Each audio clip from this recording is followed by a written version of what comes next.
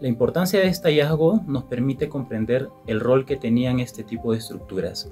las cuales comúnmente están asociadas a los, espacios más jerárquicos, restringidos y sagrados dentro de los centros administrativos incas, pues más que tener una función utilitaria o higiénica, tenían una función religiosa y de culto a los ancestros.